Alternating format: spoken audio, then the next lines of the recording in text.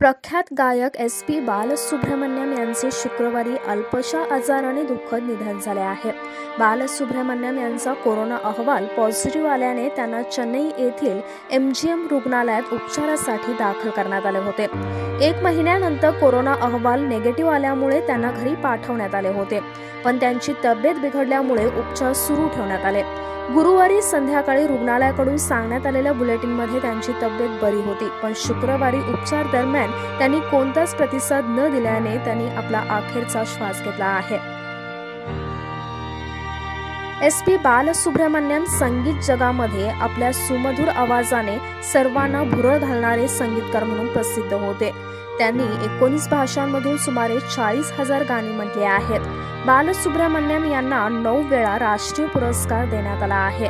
त्यांनी दक्षिण कन्नड तमिळ आणि तेलुगू चित्रपटामध्ये गाणी म्हटली असून अभिनय देखील केला आहे. त्यांनी संगीत रचना चित्रपट निर्माण ध्वनी आणि संगीत या क्षेत्रातही आपला ठसा उमटवला आहे. अशा महान कलाविधांचे दुःखद निधन झाले आहे.